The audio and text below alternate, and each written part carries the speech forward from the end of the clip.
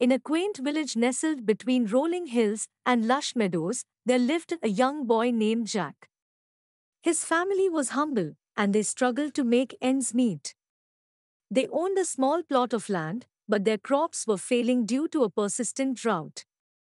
The weight of their misfortune weighed heavily on Jack's shoulders, and he longed for a way to change their fortunes. One day, Jack's elderly mother sent him to the market to sell their only cow, Milky White, in hopes of fetching a good price for her.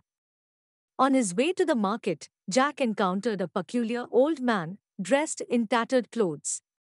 The old man offered Jack a handful of strange looking beans in exchange for Milky White. Curiosity sparked within Jack, and he agreed to the mysterious trade. When he returned home and showed his mother the beans, she was disappointed, thinking they had been duped. She threw the beans out of the window in frustration, scolding Jack for his foolishness. As night fell, Jack couldn't help but wonder about the beans. Tossing and turning in his bed, he gazed out of the window. To his astonishment, he noticed that the beans had taken root and grown into a colossal beanstalk that reached high into the clouds. Excitement and curiosity mingled within Jack's heart, and without hesitation, he began to climb the beanstalk. Higher and higher he ascended, until he found himself standing in a wondrous and enchanted land above the clouds. In this mystical realm, Jack discovered a majestic castle, nestled amidst the clouds. The castle belonged to a fearsome and colossal giant. As he explored further, Jack came across immense rooms filled with dazzling treasures. Gold coins, sparkling jewels, and magical artifacts lined the giant's possessions. Among the treasures, Jack spotted a magnificent hen with feathers of gold. Mesmerized by its beauty, he decided to take it with him.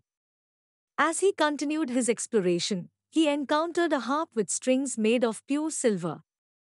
The harp's enchanting melody filled the air, captivating Jack's senses. He decided to bring the harp along as well. Suddenly, the castle trembled, and a thunderous voice roared through the halls. The giant had returned.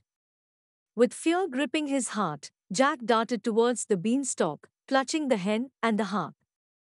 The giant, smelling the scent of a human, followed Jack down the beanstalk. As he descended, Jack quickly grabbed an axe and began to chop the beanstalk.